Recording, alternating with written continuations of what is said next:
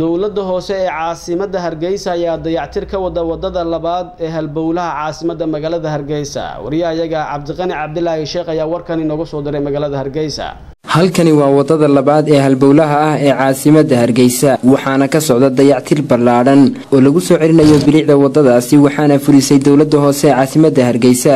Wadadan oo ah waddo u muhiima isu socodka caasimadda ahna waddada labaad ee halbowlaha ah ee isku xidha waddooyinka kala yimaada qaar ka mida degmooyinka caasimadda hargeysa ayaa muddooyinka u dambeysayba waxaa ka socday dayactir ballaadhan haddaba maayirka caasimadda hargeysa cabdiraxmaan maxamuud caydiid soolteeko ayaa saaka kormeer ku sameeyey sida ay u socdaan dayactirka lagu wado wadadaasi wuxuuna maayirku lug ku maray goobaha ay shaqadu ka socoto. Maayirka caasimadda hargeysa cabdiraxmaan maxamuud solteeko oo warbaahinta la hadlayay ayaa sheegay in ay soo celinayaan. Bilicda waddooyinka caasimadda wuxuuna shacabka caasimadda hargeysa ka codsaday in ay ilaaliyaan waddooyinka kana dhowraan qashinka iyo waxyaabaha jajabka iyo dhibka u geysanaya quruxda waddooyinka caasimadda maayirka oo arrimahaasi ka hadlaya wuxuu yidhi sida mashruucii lagu dhisayey waddada labaad ee hargeysa iyo waddooyinka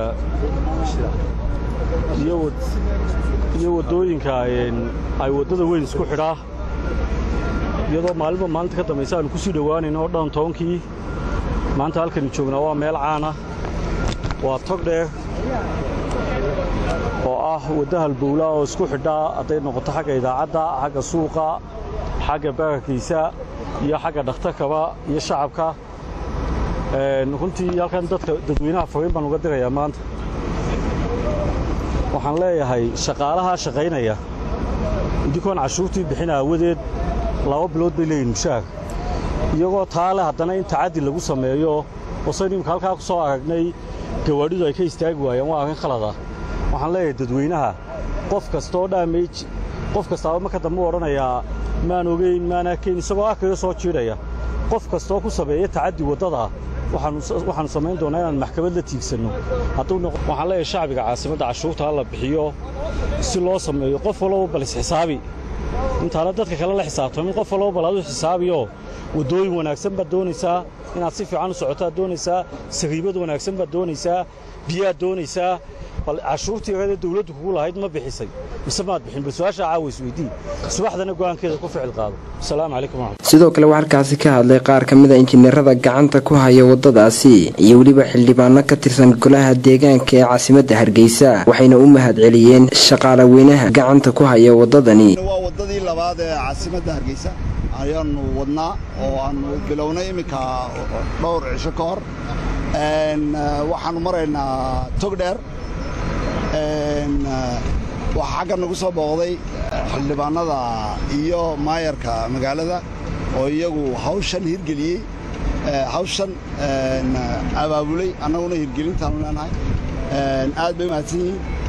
Waxaan anugu kelmad keliya maan odhanaya dadweynaha oonu iska yar dhibaato badan ee hanolonoo dulqaato.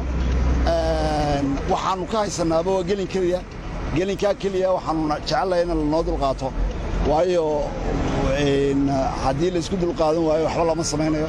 Badanaaba dadweynuhu waxayna idhaahdaan maxaad habeenkii uga shaqayn weydaa habeenkii habeenku way dhibaato badan tahay. Mar baannu isku dayna inaannu habeenkii ka shaqayno annaguba waxaan jeclay inaan dadweynaha u dhib yarayno sidii ay day to day shaqadooda shaqadooda maalmeedka ay wax u qaban lahaayeen. Laakiin habeenkii aannu ka shaqaynay waddada airbortka waxaannu aragnay inay dhibaato badan tahay oo ay weliba waddadiina aanay isku sinnayn oo meel ay boodbood leedahay meel ay boodbood ku leedahay waddadu. Kolkaas sidaa awgeed ayaannu maalintii uga shaqaynaa maalintiina gelin keliya baan ka haysannaa salaamaya shacbiga reer hargeysa ee waddadan xaqa u yeeshay marlabaadka waxaan aad iyo aad ugu mahadnaqayaa injineer baashe oo iiga horreeyey hadalka injineer baashe oo ah ninka aa arkayseen uma joogo ama kuma joogo halkan dhaqaalo uu ka helo waddadan. Waxa uu kaga yimid dal kale oo aannu kaga keennay waddaniyadda ku jirta in uu nala hirgeliyo warshaddii asfal balaanka ahayd ee soo saaraysay isku daraysay daamurka iyo jayga iyo in uu dalkiisa ka hirgeliyo waddooyin wanaagsan. Runtii maanta waxaa noo sharafa waddooyinkii aan caasimadda magaalada hargeysa ka wadnay in aan dhakhtarka dabadiisa taagannahay tog dheerna ay marayso.